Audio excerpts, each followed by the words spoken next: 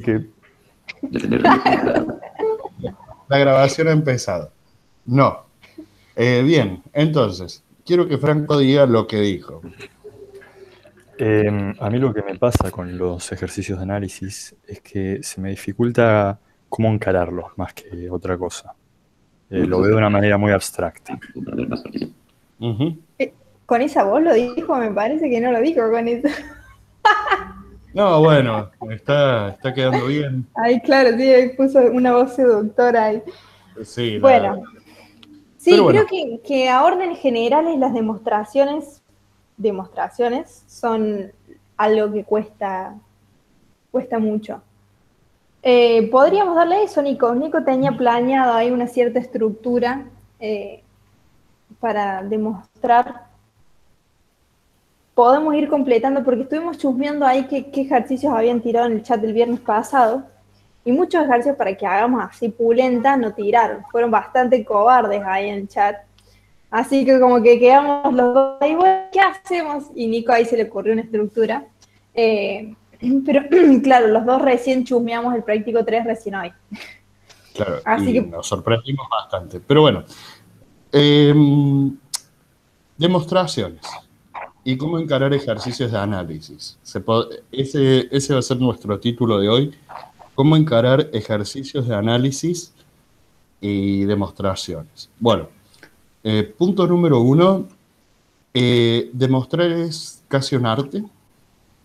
O sea que no podemos hablar muy mucho sobre el tema de eh, no podemos dar un manual de cómo se demuestran las cosas. Podemos dar indicaciones muy generales eh, de esquemas de demostración que nos van a servir y eh, herramientas o instrumentos, armas que van a tener que aprender a dominar para que el análisis no los termine dominando a ustedes. Bien, vamos a hablar entonces a los bifes de esquemas de demostración. Dani, ¿podrías compartir pantalla? Así vamos Podría compartir pantalla de escribiendo algunas cositas y esto va quedando pizarrón. registrado. Bien. Bien. Eh, vamos a hablar de un primer esquema de demostración que es el que tienen que utilizar cada vez que les piden demostrar algo por definición. Cada vez que ustedes tienen que ver que una sucesión converge por definición, hay una estructura y esa estructura recibe un nombre. Se llama prueba directa. Generalmente, ¿en qué consiste la prueba directa? Nosotros, por lo general, vamos a tener una estructura de P implica Q. Donde P y Q son variables proposicionales como las que veíamos en el cursillo de nivelación, ¿sí? Esto es muy básico, esto volvemos un poco al cursillo y para poder pensar un poco ahora en dónde estamos parados. P implica Q. ¿Cómo probamos esto? Mediante el método directo, damas y caballeros. Bien, el método directo dice lo siguiente. Vos tenés que asumir P. Es decir, que de la nada nosotros saltamos y decimos P, sea P, o simplemente P. Queremos decir con esto que estamos dando por cierta P que, este, que ahora va a ser una hipótesis. Este término antes le decíamos antecedente, sigue siendo el antecedente, pero ahora aparte va a ser una hipótesis. De P vamos a tratar de derivar Q. ¿Cómo vamos a hacer eso? Vamos a tratar de ir haciendo una sucesión de pasos lógicos y de, pasos lógicos y algebraicos para llegar a un paso intermedio. Por ejemplo, R. Es decir, que si de P podemos llegar a R, ahí ya hay un P implica R. De P llegamos a R. Ahora, ¿qué hacemos? Seguimos con la misma historia. De R podríamos sacar una conclusión S. Es decir, podríamos llegar a un R implica S. Y así siguiendo todo, el, todo, así siguiendo todo lo que nos haga falta hasta que de S se desprenda Q. Entonces lo que nos va a quedar es que un P, asumiendo P, llegamos a R, de R llegamos a S, a, a S y de S llegamos a Q. Por lo tanto, lo que podemos afirmar nosotros es que P efectivamente implica Q, que es uno de los típicos, es el esquema más sencillo que vamos a utilizar, que vamos a emplear. Ejemplo, vamos a poner un ejemplo de esto, para que veamos que esto no es tan abstracto. Yo les digo lo siguiente, proposición, dos puntos. El opuesto de un número positivo es un número negativo. Y se los digo en castellano, o sea, Dani lo está escribiendo, lo podría escribir yo en un blog de notas. El opuesto de un número positivo es un número negativo. Nicolás, ¿de qué me estás hablando? ¿Esto es el jardín de infantes? No, es una proposición. Para hablar de esta proposición, eh, vamos a hacer un poco el trabajito que hacíamos en el cursillo de nivelación. Vamos a empezar a poner cuantificadores, vamos a empezar a trabajar con los conectivos lógicos, la implicación sobre todo. Yo les diría, para ahorrarnos tiempo, porque sé que esto lo saben hacer y ahora están, mismo están un poco intimidados, de que esta proposición la puedo escribir de la forma. Para todo A elemento de R grande, coma, A mayor que 0 implica menos A menor que 0. Fíjense que acá hemos transformado el castellano en fórmula. Hemos dicho, para todo número real A, se cumple que si A es mayor que 0, entonces menos A va a ser menor que 0. Muy bien. ¿Cómo se prueba esto? Primero escribir la palabra demostración. Parece muy tonto. No, ese fue un chiste muy malo. Primero escribamos la palabra demostración. Muy bien. ¿Cómo probamos algo para todos los números reales? ¿Probamos con todos los números reales? No podemos. Lamentablemente no podemos, ¿por qué? Porque los números reales escapan a, lo que son infinitos. No los podemos terminar de contar nunca. ¿Sí? Bien. Entonces, ¿qué hacemos? Instanciamos, hacemos una instanciación universal. No se asusten por la palabra, parece más complicado de lo que es, pero no es, no es tan complicado lo único que hacemos es fijar A y pensamos en realidad que este A se puede mover en los números reales. Es decir, lo único que hacemos es considerar la esencia de A. ¿Cuál es la esencia de A? ¿Qué es un número real? Bueno, de acuerdo. Sea A un número real. Listo. Con eso instanciamos. Si a nosotros nos hubieran dicho que A es un mono peludo que come fruta, bueno, vamos a tener que poner las características que hacen que A sea un mono peludo que come fruta. Y vamos a usar esas características y, es, y las propiedades de un mono peludo que come fruta. Pero en este caso solamente utilizamos las características de A, que es un número real. Muy bien sea A un número real. Acá es donde aplicamos, direct, aplicamos el método directo.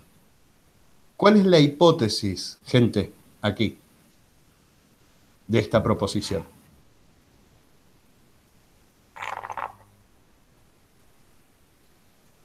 Que es positiva. Muy bien. Entonces, supongamos que A es positivo. Perfecto.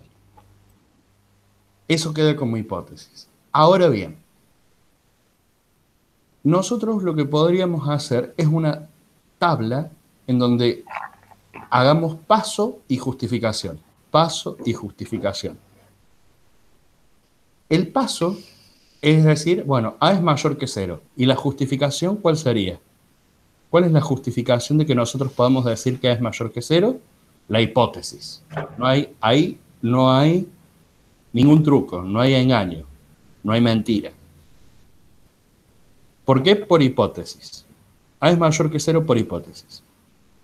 Ahora, yo les digo que tenemos que transformar esto de manera tal que podemos llegar a que menos A es menor que cero. Ahí es donde queremos llegar. Y las transformaciones que podemos hacer son lógicas y algebraicas. Bueno, entrada. Si A, como A es un número negativo, existe el opuesto de A, ¿verdad? Entonces yo puedo decir, existe menos A en los reales. ¿Por qué puedo decir eso?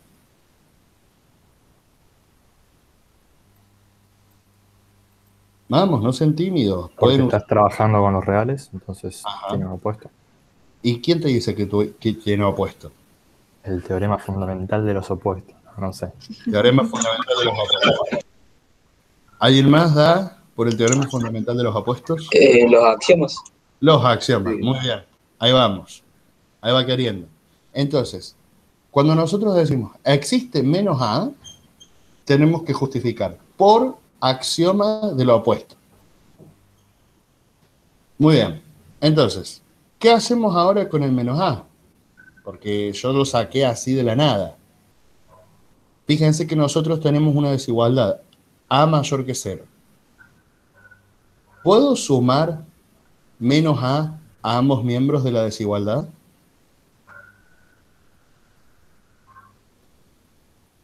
Eh, sí. ¿Por qué? Porque la desigualdad se mantiene, supongo. Exacto. Hay una propiedad que la llamamos muchas veces en el cursillo. ¿Cómo se llamaba? Propiedad U. Uniforme. Eso. Entonces, si yo ahora la siguiente línea sería decir A más el opuesto de A es mayor que 0 más el opuesto de A. ¿Por qué? Por la justificación por propiedad uniforme.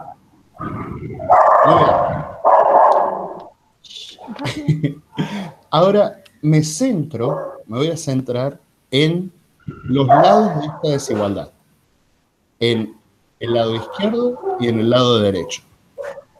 A más menos A, ¿cuánto es? Cero. Muy bien. ¿Por qué? Porque la acción me indica que si se le suma lo opuesto da cero. Muy bien, entonces ahí uno podría decir, la siguiente línea diría A más su opuesto igual a cero, justificado porque, acción, porque la axioma dice que así pasa. Perfecto. Y ahora, 0 más el opuesto de A. ¿Cuánto da? 0 más el opuesto de A. Es igual a el opuesto de A. ¿Por qué? Justifíquenlo. Por el axioma que dice que si se suma 0 no cambia la, el valor. Muy bien. Axioma del neutro. Perfecto. Axioma del neutro. Entonces, ¿cómo queda la desigualdad? ¿Sí? Díganme cómo queda la desigualdad. Menos A menor que 0. Muy bien. Mm, en realidad me queda 0 mayor que menos A, o lo que es lo mismo decir, menos A menor que 0, porque es equivalente, ¿sí? Está perfecto lo que vos dijiste. Yo hice ahí un paso más para ser muy, muy riguroso. Muy rompebolas, dirían algunos. Bueno, ¿terminó o no terminó? No. ¿Por qué? Eh, ahora tenés que como, como que volvías para atrás, explicabas todo lo que seguiste y todo eso. No, no. no. ¿No, no tenías como que poner una declaración de lo que hiciste al final, al final o de demostrar algo? Creo que eso sería por los axiomas, ¿o no? Eso sería justamente por todos los axiomas que hemos escrito en la columna derecha. Ah, claro, bien. Lo ibas poniendo en entre. Todo lo que hicimos está justificado, todos los pasos son lógicos y son algebraicos. De la hipótesis hemos podido llegar a la tesis. Por lo tanto, Entiendo la confusión igual, eh, no sé quién estaba hablando, si Franco o, o quién. Eh, entiendo la confusión porque están pensando en la demostración que hicimos el viernes pasado de eh, límite. Que en esa demostración teníamos como una primera parte en la que tratábamos de encontrar un cierto número que se usaba en la demostración, pero después lo que teníamos que hacer al final era eh, volver en sobre nuestros pasos lo directo es esto que está haciendo Nico, ir de una proposición a la otra. Lo que nos pasaba en esa instancia es que no teníamos la, la hipótesis, no teníamos el material de, de- de hipótesis. Ujú, Pero entiendo por, por- que va por ahí la confusión, creo. Exacto. Y ahora la vamos a, a tratar y la vamos a solventar. Así queda claro que también cuando hacemos una demostración de un límite, también estamos usando la prueba directa, solamente que hay una instancia, que es lo que uno no le muestra a, no sé, a la persona que te gusta y que querés que se enamore de vos, por ejemplo. Vos no le mostrás cuando te estás peinando, cuando te estás perfumando, cuando te maquillas el granito y esas cosas. No. Eh, le mostrás el producto ya terminado. Pero para todo ese para hacer ese.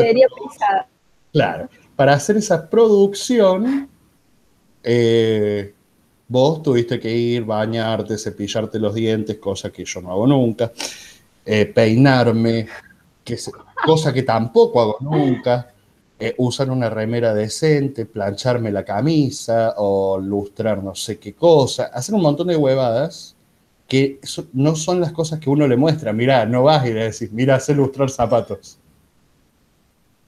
Simplemente vas con los, zapatos lustrados y la otra persona dice, ah, mira, qué persona más prolija, lustra sus zapatos. Huele, huele bien el aliento. Nosotros en, la me- en el método directo estamos mostrando la PRUM, toda la artillería pesada, como dijo Dani recién. Lo que pasa en el límite es que nosotros hay una instancia de preparación de, de ese método directo. Bien, vamos al ejercicio 1 del práctico 2. Franco, ¿lo tenés por ahí? Eh, sí. A ver. Vamos a ver qué dice. Dice, eh, demostrar usando la definición de los siguientes límites. Ah, no, pará. El ejercicio 1. Para, para, para, para. Eh, ¿El 1 o el 2, Nico? El, el me 1 confundí. es el 2 es el 1, pero con cosas particulares. Vamos al 1, vamos al 1. Yo me quedé en el 1. Nico, ¿el 1 hacemos? En el práctico 2 estamos Sí, y Franco dijo el ejercicio 1. Estamos en el práctico. Yo Hacemos el leí, 1. Perfecto. Yo leí mal el, el- el ejercicio. El 1 dice, considerar la sucesión AN desde AN igual a menos 1 elevado a la n sobre n. Y bueno, después hay varias opciones. Te dice determinar el límite cuando el límite de n tiende a infinito de la sucesión de AN. Ujú. Sí, por favor. encontrar los AN que se encuentran a una distancia de L mayor que epsilon para cada uno de los siguientes valores de epsilon. Epsilon igual a 0,2, epsilon igual a 0,1, epsilon igual a 0,05. Y después el punto C dice dibujar en la recta real los AN que distan de L, eh, del límite, perdón, de L, más que epsilon igual a 0,1. Perfecto. ¿Cuál es la asociación? Acá. Em, menos 1 elevado a la n sobre n. Ah, perfecto. Bien, bien, bien, bien. Muy bien. Vamos con ella. O por ella. Vamos a por la definición y vamos a por todas estas cosas. ¿Sí? Eh, y vamos a ver cómo, cómo se empieza a encarar un ejercicio de análisis. Este está muy bueno en particular porque es lo que uno es- te da una noción mucho más eh, sucia, digamos, de la prueba del límite. ¿Qué rol juega el epsilon? ¿Por qué es tan importante que sea chiquito? ¿Qué ventaja te da? Y te da ciertas herramientas para generalizar una demostración como en el ejercicio 2. ¿Todos han hecho este ejercicio? Correcto. ¿O alguien no lo ha hecho? ¿O, o qué onda? Oh, yo no lo hice. Pero creo que yo lo había dicho. así ¿El, que- el resto cómo andan? Sí, sí, Bien. no, no hay Sí, yo lo hice. Bien, pero lo hicimos. Yo estaba cuando lo hicieron ustedes, así que. ¿Cómo? No, no, que yo lo hice, pero lo hice también con ayuda de ustedes. Claro. Para explicarme una vez. Sí, Bien. bien. Y hay más o menos de arranque con los que se vivían. Más o menos. Vamos a tratar de entender un poquito la definición del límite sin la definición, de momento. Un poquito. ¿Saben lo que es una asociación? Creo, Que no, o que sí. creo que sí. Muy bien. ¿Qué es? No, no sé muy bien cómo explicarlo. Estas cosas que me pasan. Es como una suma. Una suma de. Uy, A ver, a ver, para, para. Decime Franco, vos sos, sos Franco, ¿no? Porque yo soy. Franco, sí. De hecho. Bien, Franco. Decime una sucesión de números al azar. Mm, 2n más 2. No, no, no. Una con tus. Vos, dame una sucesión de. Ah, Cinco eh, números. sí. 3, 5, 7. En orden, ¿no? 3, 5, 7, Tres. 11. ¿Te gustan los números primos? Bien. Eh, sí, están buenísimos. Eso es una sucesión. Excelente. Vos decís, Perfecto. bueno, dame un primer número. n igual a 1, 3. n igual a 2, 5. El, el n, fíjate que está midiendo el orden o sea, de, de los números que vos estás dando, ¿no? n igual a 3 y largaste el 7. Y yo te dije, dame un cuarto número, n igual a 4 o 11. Eso es una sucesión. Y se acabó ahí. Eh, ah, claro, no es, no es la suma ahí. de estos elementos. Eso No. es otra cosa. No, no todavía. serie. No Bien. todavía. Sería una serie. Claro. Mezclando conceptos. Bien, perfecto, gracias. Mezclando conceptos. A grandes rasgos, una sucesión no sería un conjunto que te dan por extensión eh, con el. ¿Cómo es? Eh, no, por, Claro, por hay comprensión. que sí. Por comprensión. Ah, Claro, fíjense que ustedes le dieron. es- Bien. Pero, ¿alguien me porfía que esto es una, una sucesión? Fíjense, Franco eh, fue agarrando órdenes y fue tirando números. Eso es una sucesión. Come naturales y te devuelve números. Franco los tiró al azar. ¿Alguien sabe qué son los números naturales? Pero alguien. Ya de- eh, parece una pregunta muy tonta. Pero los números naturales cumplen dos funciones. Una función es contar. ¿Cuántas manzanas tengo en la bolsa? ¿Cuántos caballos corren la carrera? Esa función se llama cardinalidad. Los números naturales son los cardinales. Te dicen cuántos elementos hay en un conjunto. Tenés dos manzanas, hay dos elementos. Tenés seis caballos, hay seis elementos. Son los que usamos para contar. Pero hay una segunda función de los números naturales que aparece asociada a la meritocracia. ¿De qué se trata? Del orden, del orden de mérito o la función ordinal de los números naturales. Los números naturales son ordinales en el sentido de que nos ayudan a ordenar, a decir quién va primero, quién va segundo, quién va tercero, quién va cuarto, quién va quinto, quién va sexto, etcétera, ¿sí? Entonces, cuando nosotros estamos utilizando las sucesiones, tenemos que pensar que la sucesión puede ser o finita, como la que dio Franco, que dijo, bueno, el primer elemento, fíjense, primer elemento de la sucesión es 3. Segundo elemento de la sucesión es 5. Tercero es el 7. Y cuarto es el 11. Acá las ordenó. Está bien, él pudo haber dado un conjunto y los conjuntos no están ordenados necesariamente. Pero cuando le pedimos que los ordenara, dio una lista ordenada. Un, primero, un segundo, un tercero, un cuarto. Ahora, las sucesiones también pueden ser infinitas. Cuando hablamos de sucesiones infinitas, nos estamos refiriendo a funciones que tienen una particularidad. Recuerden ustedes que en el cursillo vieron que las funciones tienen un dominio y un codominio. Esto ya lo vimos un poco el, el, la otra, el otro encuentro, pero bueno, las sucesiones en particular son funciones muy especiales porque su dominio siempre son los naturales. El 1, el 2, el 3, puntos suspensivos. N grande. Esa N grande que uno hace. Son los naturales en el sentido de orden. Porque, ¿qué hace una sucesión? Nos ordenan números ¿Qué tipo de números? Números reales. O sea que la sucesión es una función que va de n a los reales.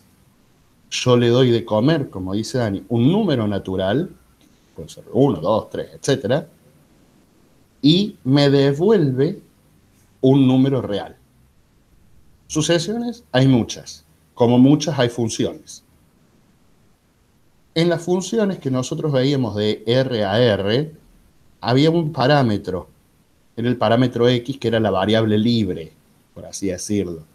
Y nosotros hacíamos como I igual a f de x y hacíamos una reglita de asignación, que es una fórmula que dependía de x, no sé, x al cuadrado, dividido 3, lo que sea. Acá, lo que tienen es que la variable es la n la variable o el parámetro. ¿sí?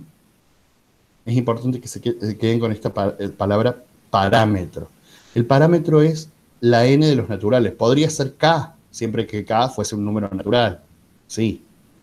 Lo puedo cambiar al, al nombre, a la letra que uso, pero sigue siendo el parámetro que me dice a mí en dónde me tengo que, dónde tengo que evaluar mi función. Por ejemplo, la función n al cuadrado es una sucesión porque sé cuál es el primer elemento, que es el 1, el segundo elemento es 2 al cuadrado, que me da 4, el tercer elemento es 9, porque es 3 al cuadrado. Si yo les digo, ¿cuál es el décimo elemento de esta sucesión n al cuadrado? 10 al cuadrado. ¿Qué da? 100. Perfecto. Bien, Ahora, si yo les digo que mi sucesión es 3 medios de n, o sea, 3 por n, todo eso dividido 2. ¿Cuál es el primer elemento? 3 medios. ¿El segundo? 4 medios. No, 6 medios. El segundo sería 3 medios por 2. ¿Cuánto da 3 medios? 6, eh, 3. ¿El tercero? Dios. 2. Mm, el tercero, es- no sé si sería 2. A ver. Que hagan las cuentas, chicos. Muevan. ¿Tienen lápiz, papel? Muevan. 3 medios por 3, ¿cuánto da? 9 medios. 9 medios. El cuarto elemento sería 12 medios o 6. El quinto elemento sería 3 por 5, 15, dividido 2, 15 medios. No lo puedo simplificar más.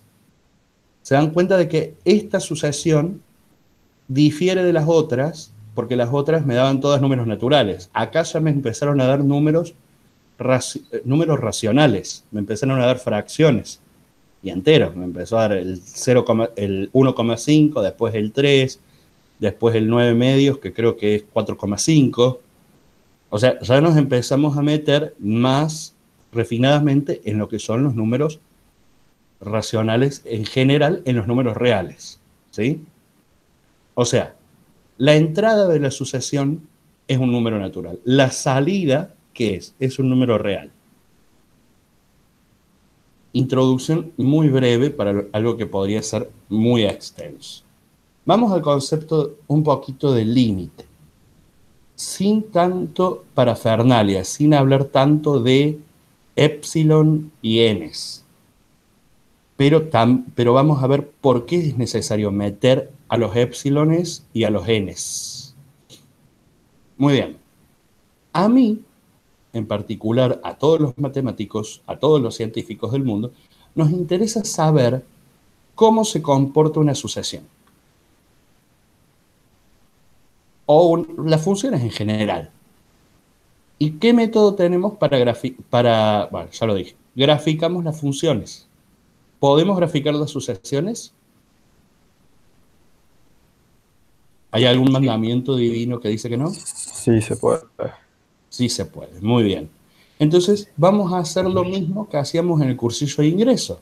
Un eje de coordenadas con abscisas y ordenadas, o sea, horizontal y vertical. Y en las horizontales va a estar el dominio. ¿Quién era el dominio? A ver, ¿quién estaba atento? Naturales. Los naturales. O sea que en el dominio, en el eje, en el eje horizontal, solo tengo que poner el 1, el 2, el 3, el 4 así hasta el infinito. Y en el eje Y, ¿quiénes van a estar? ¿Quiénes van a estar? Ahí está. ¿Quiénes van a estar? Ahí. Los reales, muy bien. Y si yo te digo, decime dónde está el A sub 2, ¿en qué eje lo vas a escribir al A sub 2? Ponele que el A sub 2, sí, es, es, ¿en dónde lo vas a marcar al A sub 2?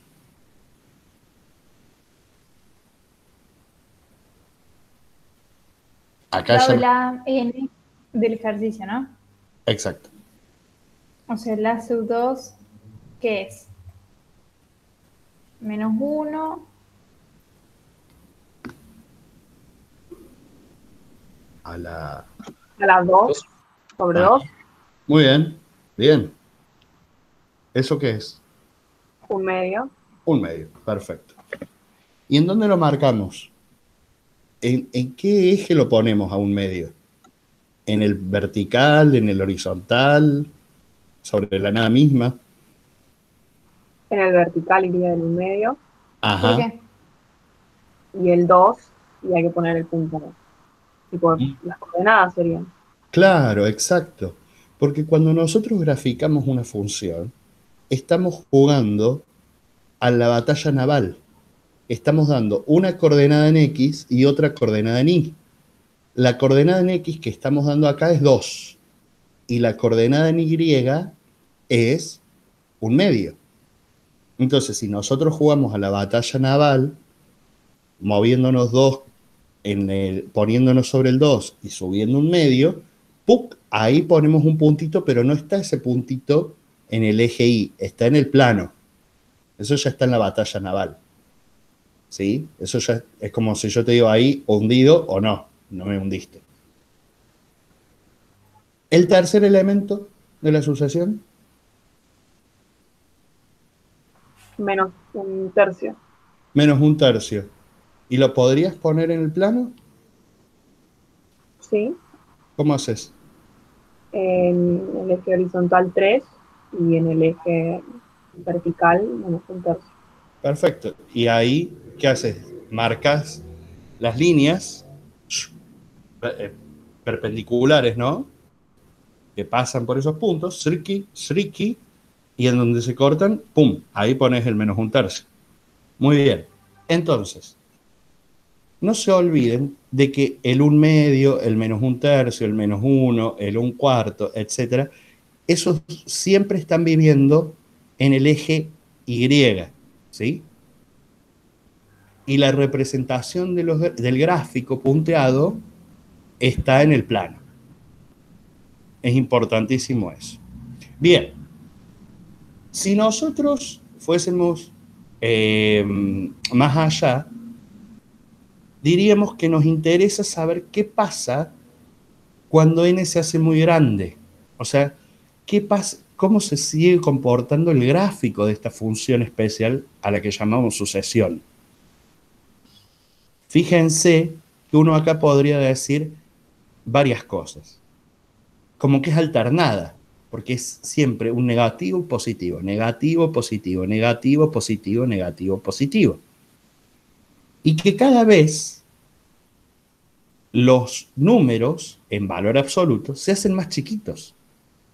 El 1 es más grande que el 1 medio, es más grande que el 1 tercio, es más grande que el 1 cuarto, más grande que el 1 quinto. O sea que estas, los términos de la sucesión, los AN, se van acercando al cero. ¿Sí? ¿Se entiende hasta acá? Sí. Sí, sí. Perfecto. ¿Por qué? ¿Por qué? Porque cada vez se hacen más chiquitos. Se van acercando al cero, algunos desde los positivos y otros desde los negativos, pero pareciera ser, me parece a mí, que todos, tanto positivos como negativos, se achican tanto que se hacen cero. Que se van a cero, en realidad. ¿Al cero de dónde? ¿Del, ¿De qué eje? Del X. No, del Y. Del I, muy bien. Al eje del I.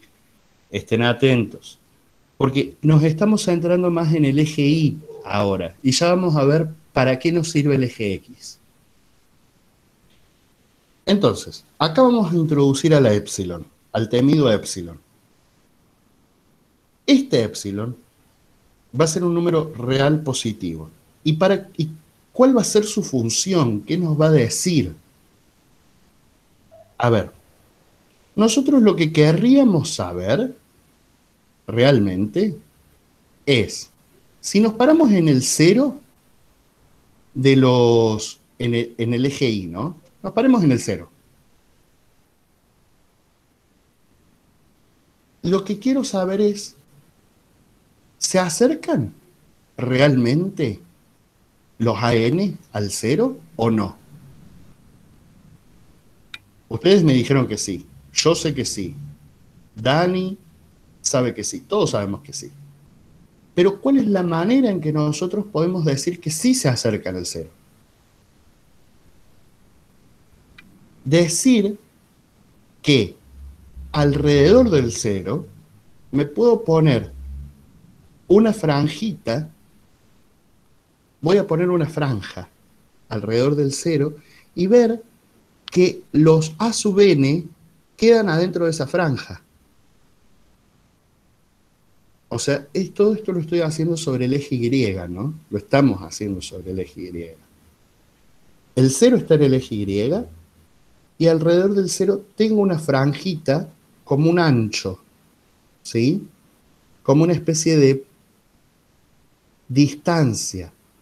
Quiero ver que los AN me quedan contenidos adentro de esa franja. Vale, perfecto, pero yo podría darte la franja, no sé, mil. Podría ser mil para arriba y, mil para abajo, o sea, entre menos mil y mil. Bueno, todos los, todos los términos de la asociación quedan, ¿no? Ahí contenidos en esa franja. ¿Sí o no? Pero aporta información. Buena pregunta. Claro, eso es lo importante, tipo, preguntar si te sirve tomar un epsilon grande. ¿Sirve Claro. o no sirve? Y no sirve tanto. No sirve. ¿Por qué? Porque fíjense que ahí quedan todos adentro, no te está diciendo nada de a dónde va la sucesión cuando vos agrandas los n, Pero vos cómo sabes, por ejemplo, No que quedan todos adentro. Porque recién los graficamos. Por el, por el gráfico, digamos. Simplemente Bueno, por eso. fíjate una cosa. Claro, Pensa en la fórmula. ¿Cómo son los AN? Menos 1 elevado a la n dividido n. Sí, sí, tienden a Eso ser. ¿Eso alguna vez puede ser más grande que 1000 o más chico que menos 1000? No, no, claramente no. puede superar el 1. Fíjate que ni siquiera puede valer 1,002. Claro, sí, sí. Ahí está. Bueno, entonces yo digo, acortemos la franja. Eh, 500 a menos 500. Desde menos 500 a 500. ¿Sirve? ¿Sigue sirviendo?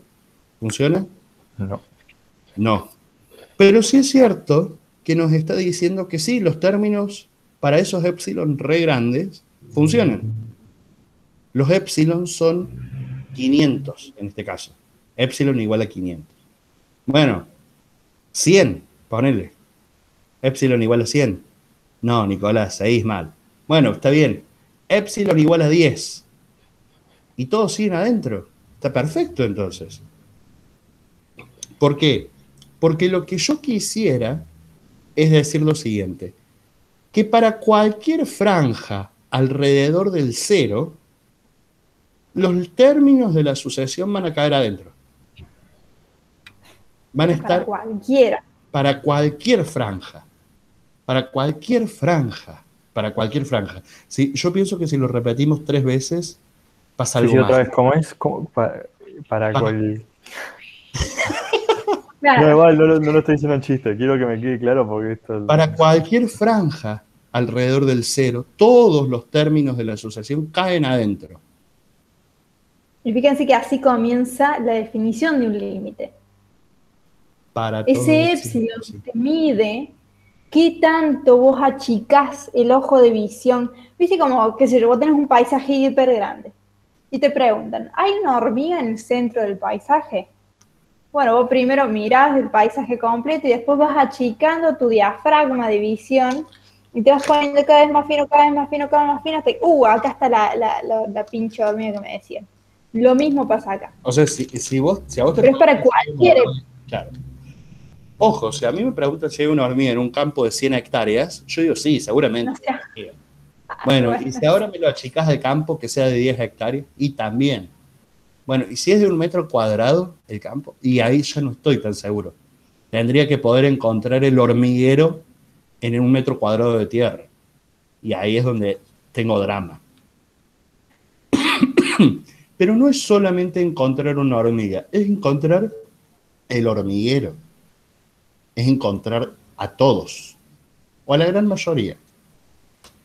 Entonces, este epsilon me sirve a mí como parámetro de eh, delimitación, de delimitación, ¿no? O sea, el epsilon me dice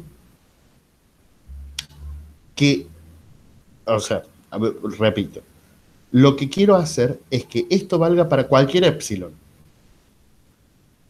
Y los grandes no me sirven mucho, Nico. Bueno, está bien, los grandes funcionan. Bueno, entonces tendría que ser para cualquier positivo. Sí, para cualquier positivo. Y para los ¿Por más qué positivo, Nico? ¿Por qué no negativos? Y bueno, para hacerla más simple, ¿no? Porque si yo agarro y me pongo en el cero, subo epsilon para arriba, que eso ya es positivo, y bajo epsilon para abajo. Que eso ustedes ya deben estar más duchos ahora con las nociones que les han dado de abiertos y cerrados. Y de intervalos. Exactamente, fíjense que lo que estamos dibujando con Nico es un simple abierto en el eje, en el eje de las Y, que claro está que si nosotros tomamos, no sé, eh, en este caso 0 más epsilon, eso me va a delimitar una franja horizontal, por eso estamos dibujando una banda. Pero no es otra cosa que un abierto en el eje Y. Correcto. Y ahora la, apuesta es así.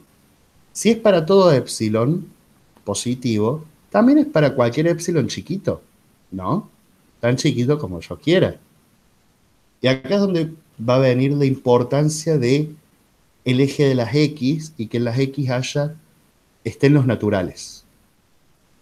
Yo te quiero, yo diría, bueno, está bien, que sea un epsilon re chiquito, no sé, un millonésimo, un centésimo, bueno, eh, eh, un billonésimo, lo que vos quieras. Bueno, está bien, lo que vos quieras.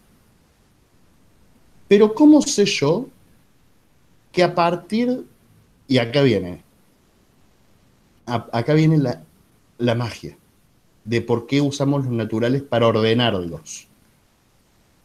Yo quiero decirte que a partir de un cierto momento, momento, todos los elementos de la sucesión van a estar adentro de epsilon, en esta franja que dibuja Dani acá.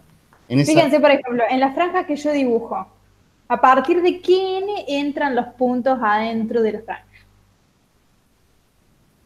Acá Cuatro. podría haber discusión porque en realidad mi 4, franja es... 5. Claro, pero a partir más o menos del 4, el 5, hay quienes dirían el 7 también, pero porque medio chota mi franja, eh, ya empiezan a quedar todos adentro. Claro, claro. Y a partir del 7, del 5, del 4, del 7 de Dani, entran, y los que le siguen, entran todos. Y por eso es tan importante que sean con los números naturales, porque en el- los números naturales tenemos el concepto de sucesor, o sea, de los que le siguen. Sabemos que el sexto le sigue al quinto, que el séptimo le sigue al quinto, que el 8 le sigue al 5. O sea, ¿por qué? Porque van creciendo siempre pues solamente sumarle uno y uno y uno.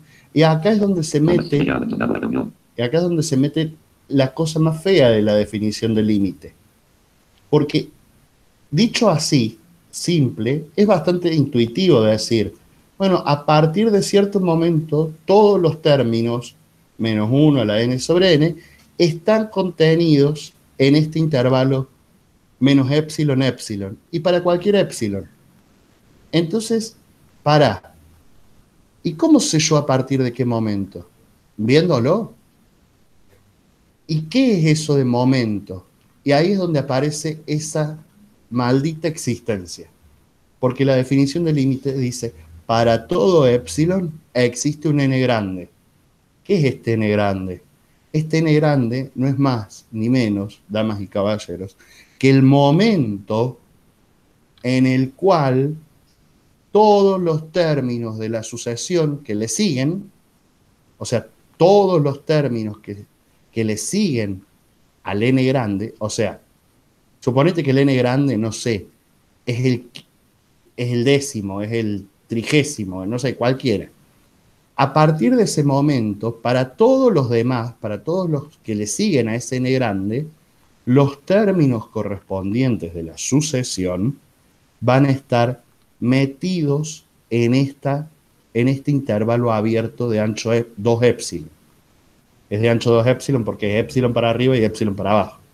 2 por epsilon, ¿sí? Tengo una pregunta. Sí. Eh, ¿El epsilon tiene que ser un número natural, digamos? Porque puede ser que el n quede entre dos elementos de la sucesión. Es que ahí hay una confusión y eh, por eso la vamos a saldar. Epsilon es cualquier número real. Claro. Epsilon podría ser raíz de 2 dividido 300, 500 millones. 350 mil millones. Eso no es un número natural, es un número real. Es la raíz de 2, que es recontra irracional, dividido un número real. O fíjate los números, los epsilon que te están dando en el 1. 0,2, 0,1, Claro, sí, sí, sí. 0,5. Exacto, sí. Entonces, Fíjate, fíjate, fíjense Ahí. algo, algo, algo bueno en la definición, porque mientras vos hablabas, Nico, yo iba poniendo Ajá. la definición de límite, que el epsilon, ¿en dónde aparece? Bueno, aparte de decirme al principio, pero in- en interacción con, con qué aparece. Al, al final, supongo. Al final, ¿y con qué está? ¿En qué? ¿En una desigualdad? ¿Con qué elementos? Con los elementos de la sucesión. Claro. ¿Y en dónde viven los elementos de la sucesión? ¿Dónde viven los AN? Es una buena pregunta. ¿En qué eje está? Ah, claro. Los naturales. Ya los reales. los AN, claro, los AN son ne- reales. El epsilon aparece en interacción con el eje I real. De hecho, de hecho, ahí es donde confunden. Ahí es donde eh, todos nos confundimos. Nos confundimos porque no entendemos bien por qué se pone ese n grande en los naturales. Ese n grande nos sirve para decir a partir de qué momento, dado epsilon, fijado, o sea, fijada la franja que vos querés, en la que vos querés encontrar términos de tu sucesión, el n te dice a partir de cuándo se va a cumplir eso, el n grande. Porque fíjate que dice, existe n grande, tal que para todos los naturales mayores o iguales que n grande, eso quiere decir, para todos los naturales mayores o iguales que n grande, es eso, quiere decir, a partir de ese momento, siguiendo tu, tu trayecto. O sea, tenés el, el n grande.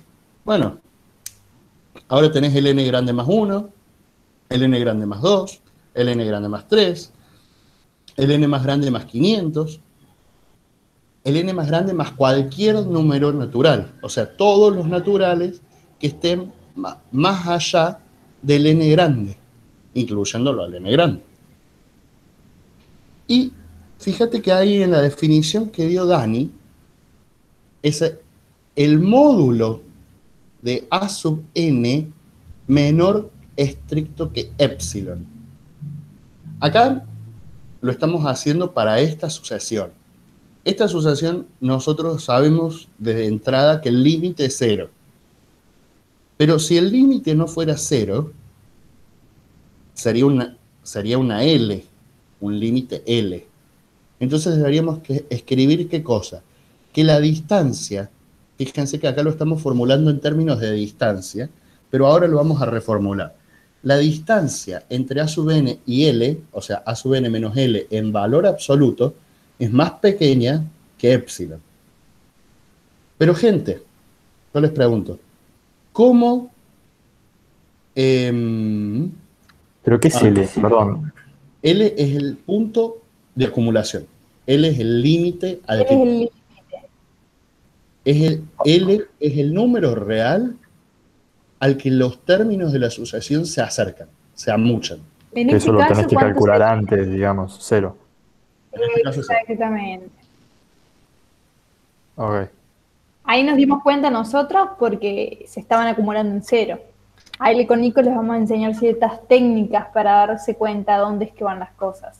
Exacto. Pero una que sí sirve de, pecho, una que sirve de pecho siempre, es la 1 sobre n.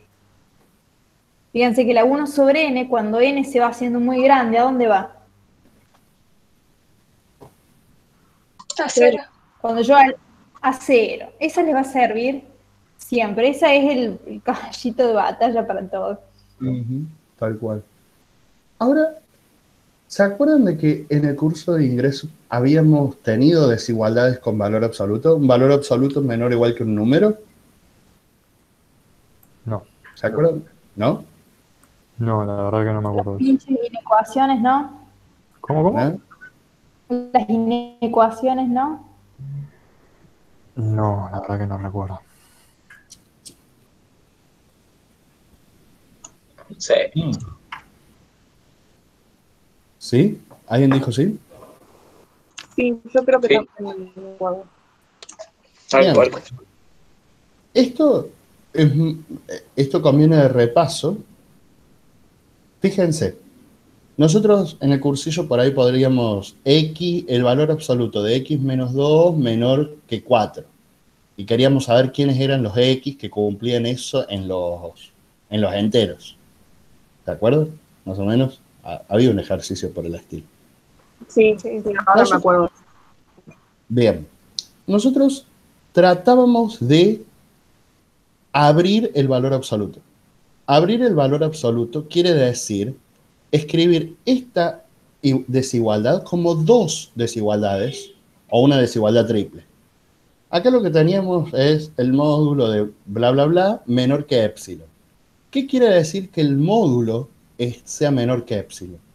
Quiere decir que el número que está dentro del módulo, que en este caso es an menos l, está entre menos epsilon y epsilon.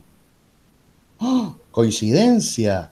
Fíjense que nosotros estamos diciendo que el AN estaba en la franja menos epsilon epsilon. ¿Será coincidencia? No, no lo creo. Entonces, fíjense que nos queda menos epsilon más chico que el AN menos L más chico que el epsilon.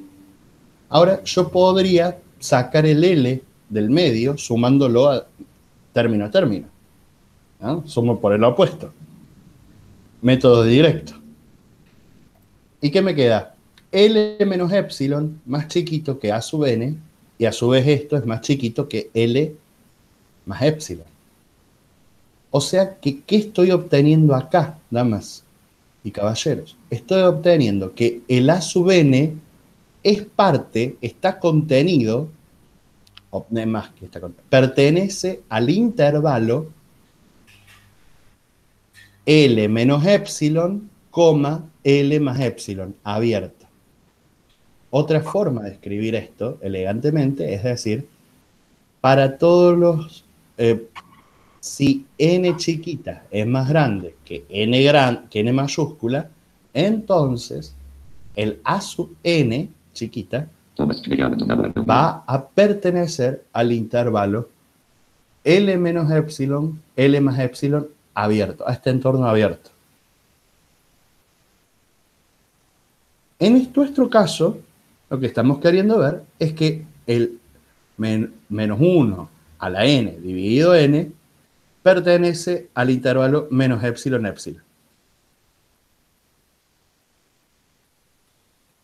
¿Se entiende más o menos por dónde viene la película de por qué es tanto chamullo la definición del límite, pero que en realidad tiene un correlato geométrico y aritmético también por esto de la sucesión, de que los naturales ordenan la sucesión? Creo que sí se entiende. ¿O no se entiende? Si no se entiende nos volvemos y buscamos una forma de entender. No, no, tranquilo, se entiende. Vale, yo lo entiendo. Chicos, chicas, hablen, por favor. Sí, sí, Sí, sí, sí, se entiende. Excelente, excelente. Bien, entonces, si uno tuviera, si a uno le piden demostrar por definición qué es lo que pide este ejercicio, ¿cuál es el límite del- de la sucesión? Menos uno, ¿cómo? No, Menos uno a perdón. la- no pasa nada. Menos 1 a la n sobre n, cuando n tiende a infinito, lo que tiene que hacer primero es darse cuenta, a ojo, tanteando, calculando, contando, a dónde más o menos se va, graficando, se va a cero. O sea que el límite queremos ver que ese es cero, el límite. Muy bien, entonces tenemos que aplicar la definición y acá es donde se mete el método directo. Porque el método directo dice, para todo epsilon, y nosotros ya nos encontramos al principio del encuentro con un para todo. ¿Cómo hacíamos con el para todo? Instanciación universal. Decimos, bueno, fijamos el epsilon. Que no se mueva, pero que después lo podés mover. Lo único que tiene que ser este epsilon es positivo. Bueno, voy a pensar que me están dando cualquier epsilon, pero positivo. Entonces digo, sea epsilon positivo, punto.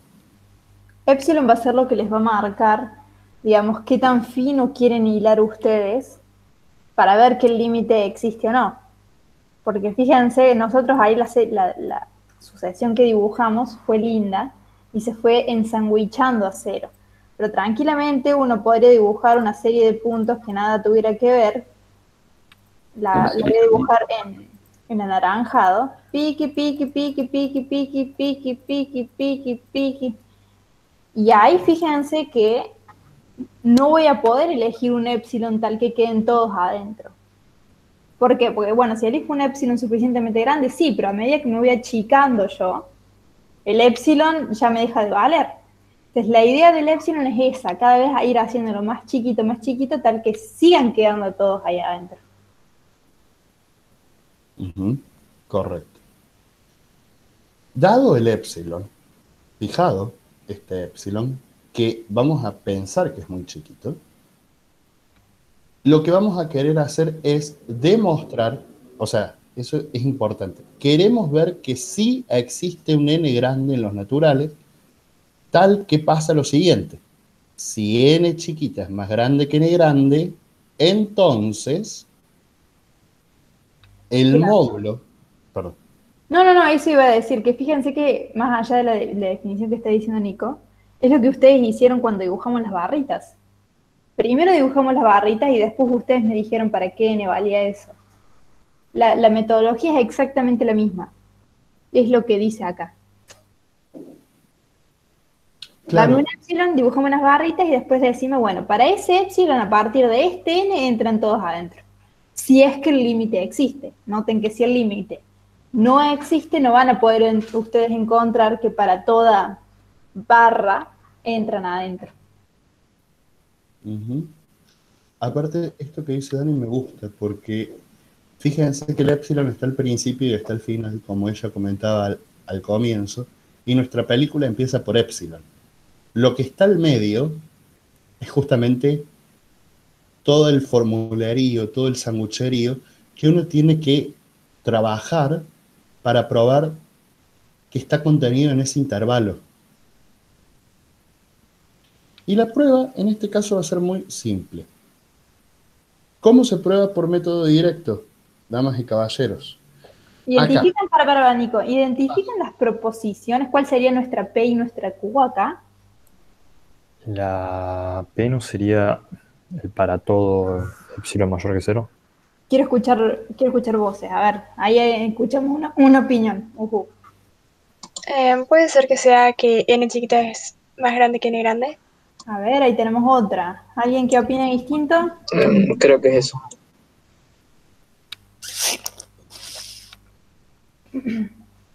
Fíjense que todo esto del, del principio es con, lo que vos estás jugando. Y lo del principio te está indicando las dependencias que hay. Fíjense que acá te, están diciendo, para todo epsilon mayor que cero, existe un n. Se vos dame un epsilon y te voy a dar un n. Pero tal cual, lo que los implicas están acá atrás. Acá te están diciendo que P, es decir, n mayor que n, valga la redundancia, implica Q. ¿Qué es Q? Que toda la sucesión menos el límite queda en una franja.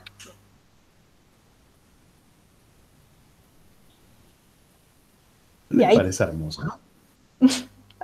O sea, No, yo lo veo, parece, parece eh, yo creo que, ¿por, por qué nos estamos deteniendo mucho con Nico con esto? Porque es- esto les va a servir más adelante cuando ustedes vean funciones con estas cosas, que las funciones van a ir de reales a reales. Y por ahí esta noción de las banditas, de bueno, qué depende de qué, les va a ayudar mucho para ese momento. Y está bueno entender el concepto de límite así porque lo van a ver en todo análisis 1 de esta forma y todo análisis 2 de esta forma. O sea, por ahí desmenuzar con lo que están trabajando es, es muy bueno.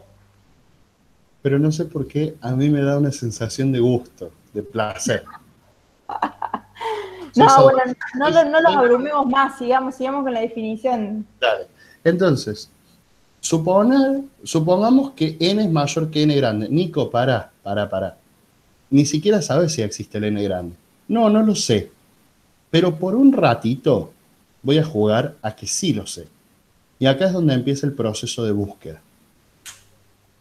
Acá es donde empieza el, el ¿cómo se dice? El, el luqueo. Acá nos vamos a poner fashions. Para, entonces suponés que existe un n y después suponés que el n chico es mayor que ese n grande. Exacto. Claro, ¿por qué, por qué vamos a... Suponés a- dos a veces. eso? Ok. No, no, para. Claro, porque no, no sabemos el n. Nosotros acá lo encontramos gráficamente, pero en realidad lo vamos a tener que encontrar analíticamente. La idea es esa, vos te- vos- a vos me dan un epsilon y yo te doy el n.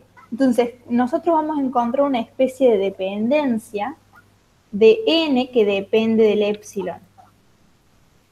Pero esa es la parte del laburo donde encontramos, esa es la búsqueda que les hablábamos la clase pasada. Y, y después vamos a tener que demostrar P implica Q. Ok. Y ahí le una resalto lo que dice Dani.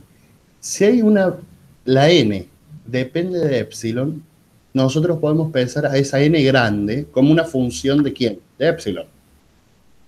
O sea que epsilon cumpliría lo que cumple la x en, nuestra entre, en nuestro entrenamiento y igual a f de x. Acá lo que tenemos que es n grande es igual a una función de epsilon. Lo único que hicimos fue cambiar las letras. Por eso está bueno este ejercicio, Porque fíjense, bueno, que la A te pide determinar el límite. Bueno, ya nos dimos cuenta todos. No importa cómo te das cuenta, ¿eh? Si es gráfica o es analíticamente. Nos dimos cuenta que iban a cero.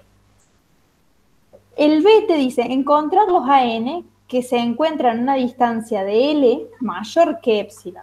Y después dice, ah, claro, encontrar los AN que se encuentran en una distancia mayor de L, de L mayor que, sorry chicos, o sea, encontrar los AN a partir de las cuales L queda ensanguichado con los epsilon. ¿Qué es lo que acabamos de hacer nosotros? Vos me das un epsilon, te están dando 3, y te están pidiendo que encuentres a partir de qué AN quedan todas en la franjita eh, alrededor de L, el límite. ¿Qué es lo que uno termina haciendo después sin los números? Pero, está buena la práctica del número. Sí. No entiendo lo de encontrar los AN que se encuentran a una distancia de L mayor que epsilon. ¿No te, pidiendo, los que están afuera o me estoy confundiendo? Ah, claro, bueno, te piden los que quedan afuera, al revés de lo que estamos diciendo. Sí, a mí también me confundió eso. es cierto, es cierto, no tendría sentido, pero bueno, sí. Te están diciendo cuáles quedan afuera. Es como.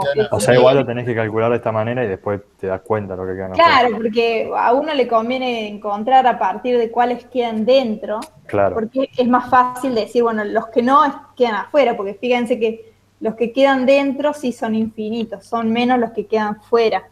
En el caso de que el límite exista, ¿no? E-, es cierto eso. Pero bueno, eh, sería encontrar el punto límite a partir del cual eh, eso ocurre. Y después, si lo que es lo que quedan afuera son los menores, y si querés los que quedan adentro son los más, los más chicos. Aparte, una cosa, el L todavía no lo hemos encontrado. Lo encontramos gráficamente. Probarlo es justamente dar el n para cada epsilon. ¿y cómo se hace eso de encontrar el n para cada epsilon? Es encontrar qué función o qué propiedad o qué virtud de los números reales me sirve a mí. Es decir, muchas veces no vamos a poder encontrar explícitamente n de epsilon como una fórmula, o sea, no vamos a poder decir n es igual a f de tal f de la epsilon, para cualquier epsilon. Además, fíjense que nadie definió con que el n sea el más chico, ¿no? Acá, más allá de que yo haya dibujado para la chacota, Franco puede haber dicho, vale para 5, y Ignacio puede haber dicho, vale para el 7. Y es cierto, a partir del 5 quedan todos adentro, a partir del 7 también quedan todos adentro, a partir del 10 también quedan todos para adentro. Esa es la ventaja de jugar con desigualdades, que uno tiene ciertas libertades. Como dice Nico, hay veces que los n no, no, los puede determinar de pecho o pueden diferir un poco por ahí uno se puede poner más fino y otro un poquito más suelto y... Pero para ello vamos a destacar, y quiero que en sus carpetas lo escriban grande, propiedad arquimediana. Le hacen una foto y lo cuelgan en, no sé, en algún lado. Propiedad arquimediana. La propiedad arquimediana es lo que nos va a hacer factible este ejercicio. Fíjense por qué. Ya supusimos que n es mayor que n grande, ¿verdad? Sí. Bueno, vamos a los bifes. Nosotros tenemos un candidato para L. Es el 0. Bueno, si es el 0, va a ser el 0. Y si no, a llorar el campo. Pero va a ser el 0. ¿Qué tenemos que probar? Tenemos que probar que 1, el módulo, perdón, que el módulo, y esto es importante, de menos 1 elevado a la n dividido n es más chico que epsilon. Eso no lo sabemos todavía, pero hay que probarlo. ¿Cómo empezamos a probar?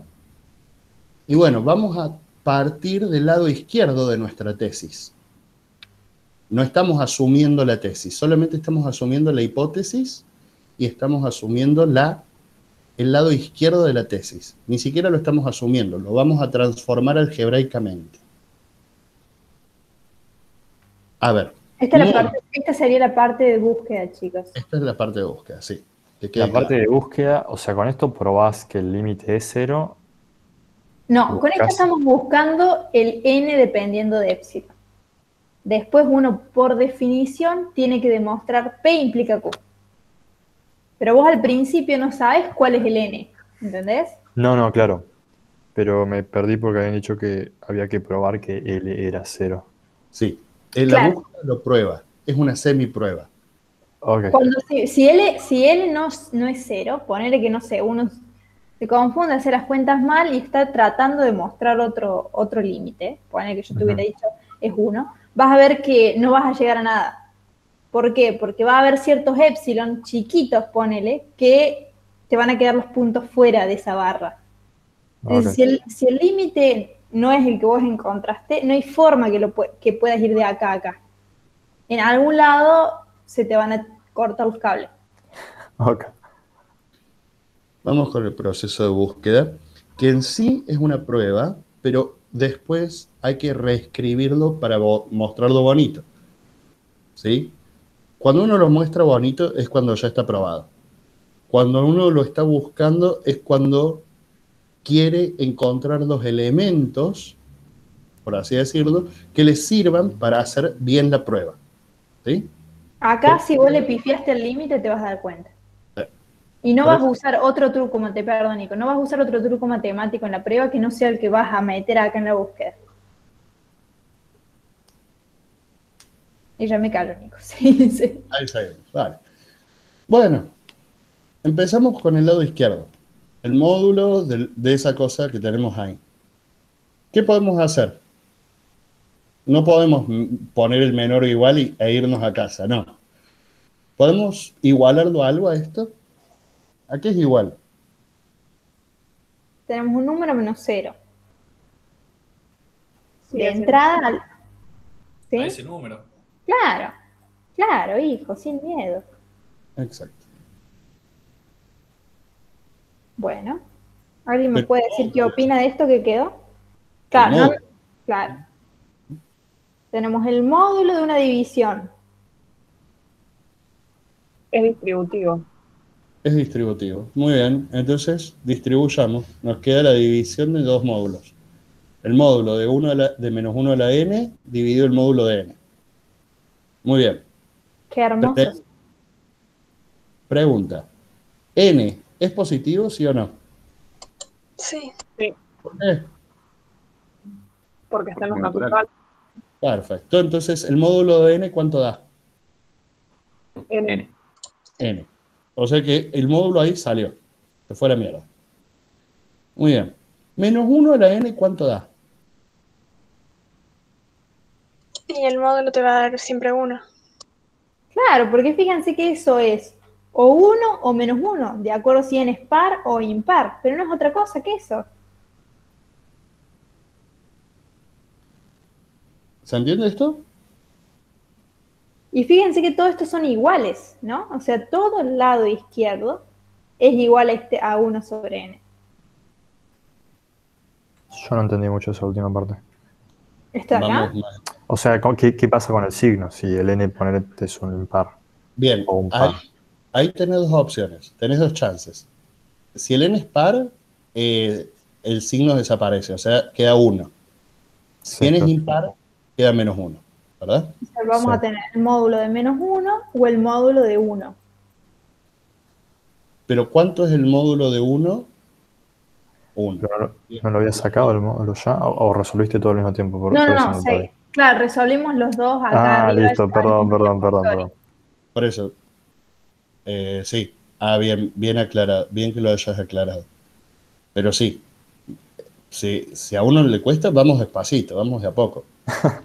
Perdón, no, no. Pero No, no, te das problema. Está, está Es buena sí. esta duda. Y este truquito es algo que uno suele usar casi que siempre en, en demostración de límites. Así que está bueno que quede bien claro. Perfecto. Bien, entonces quedamos en que el término menos el límite en valor absoluto es igual a 1 sobre n. O sea, agarramos el lado izquierdo y fíjense que todas son igualdades, ¿no?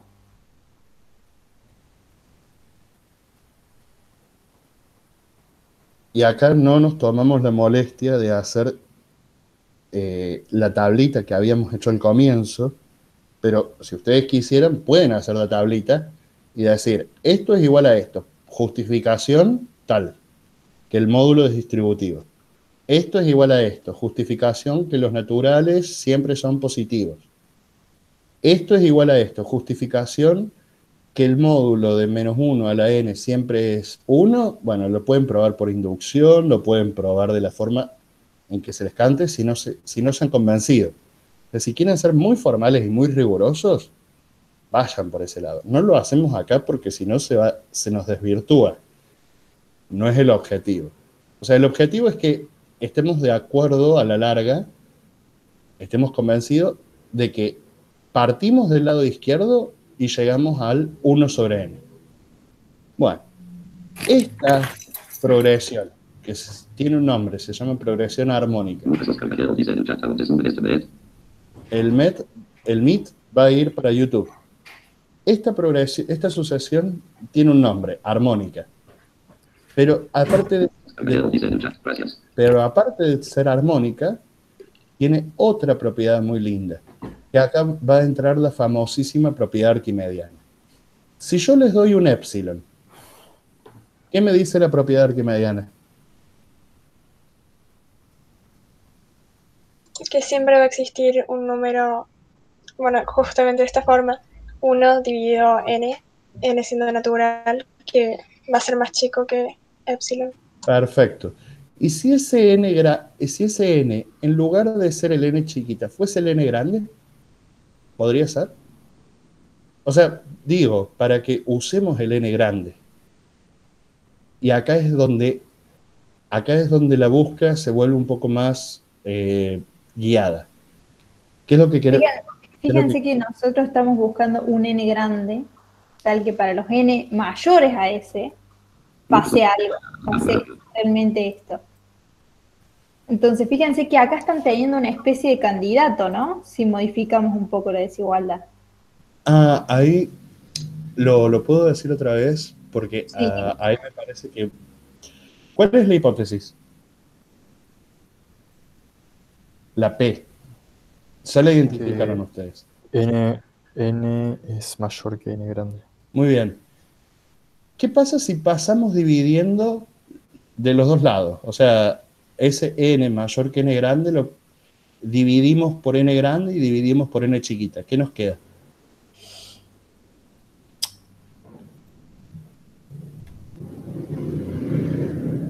Es decir, pasan este dividiendo por el otro lado y este dividiendo por acá. Es decir, no olvidemos de eso que está esta vez n sobre n mayor que 1 y pasamos este dividiendo por el otro lado, nos quedó... Estas son propiedades del orden que tienen ustedes. O algo así. Sí. Ustedes saben que, si, si, dividen por números positivos, las desigualdades no se, no se alteran, ¿verdad? Sí. Es decir, si tienen 20 mayor que 10, 1 sobre 20 es más chico que 1 sobre 10. Cuando no entiendan las desigualdades de la orden, ustedes pongan el número de pecho. Correcto. Entonces, fíjense, ¿qué quedó acá? 1 dividido en E chiquita menor o igual a 1 dividido en E grande. Entonces, fíjense, salimos del lado izquierdo, del, del valor absoluto de esas cosas, todo eso fue igual a 1 sobre n, chiquita. Pero ahora, por hipótesis, 1 sobre n chiquita resultó ser menor que 1 sobre n grande. Esa fue la suposición. ¿Sí? Bien, y ahora,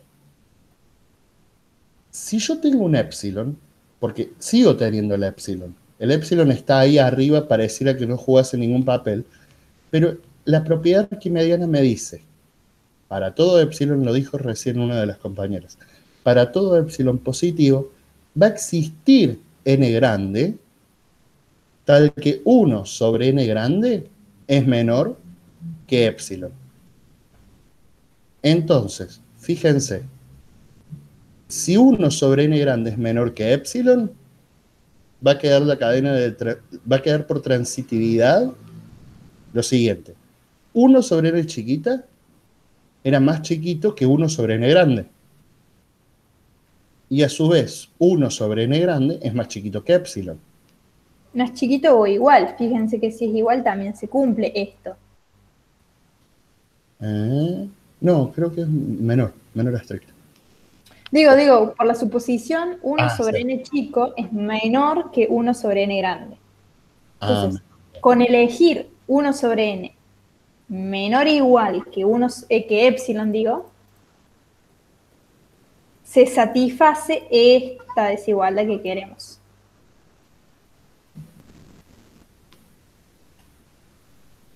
¿Va o no, no va? Por ahí no lo dije de forma intuitiva. ¿Alguien se ha perdido hasta acá en algún punto del camino? Estamos dándoles dos formas de, de pensar di- distintas. Eh, yo más o menos lo entendí, al menos. Bien, Con la parte de la propiedad arquimediana, más o menos se me hizo una ensalada, no entendí muy bien esa última parte. bien. Eh, vos acordate que la existencia del n grande no lo teníamos nosotros. Que había sido como un supuesto, medio raro. Como un Sí, supuesto sí. fantasma, un supuesto que uno no pone sobre la mesa. Pero que aún así habíamos dicho que sí suponíamos que n chiquita era más grande que n grande. ¿Sí? Sí, Bien. Con n chiquita más grande que n grande nos quedó que 1 sobre n chiquita es menor que 1 sobre n grande. sí. Bien. Entonces yo quiero que 1 sobre n grande sea menor que epsilon. ¿Eso lo puedo? con- ¿Para qué? Para que el- por transitividad Claro, te quiero. quiero. Claro, sí, sí. Ahora, ¿eso yo lo puedo conseguir? ¿Que 1 sobre n grande sea menor que epsilon? ¿Existirá n grande realmente? ¿Existe o no existe? La gran pregunta, ¿ser o no ser? Sí, existe. Arquímedes, nuestro viejo amigo Arquímedes, nos dijo que para cualquier longitud epsilon existe un natural n grande, tal que 1 sobre n grande es más pequeño que la longitud de epsilon, que el número epsilon. Entonces, acá termina el proceso de búsqueda y hemos medio probado, hemos hecho la semiprueba. Y el proceso de prueba directa va a ser, va a venir como una seda. Vamos a empezar igual. Sea epsilon positivo. Bien. Ahora, por propiedad arquimediana, En la demostración vamos a hacer el revés, chicos. A partir realmente de la suposición y tenemos que llegar a la desigualdad de la que partimos. exactamente. Porque eso es lo que había dicho Nico al principio de la prueba directa. Prueba directa es de P hacer cosas, cosas, cosas y llegar a Q. Entonces eso es lo que vamos a hacer ahora. Eh, perdón, entonces nosotros recién probamos que existía el N y ahora tenemos que demostrarlo. Ahora a- No, acá se encontramos el N. Sí, bien. El N, fíjense, que sí, ahí no, no les gusta porque el N, el N grande está en el denominador, pero teníamos 1 sobre N mayor o igual que epsilon. Tranquilamente podríamos decir al revés, pasemos el epsilon dividiendo para el otro lado, 1 sobre epsilon mayor o igual que N.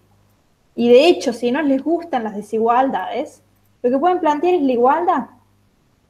N es igual a 1 sobre epsilon.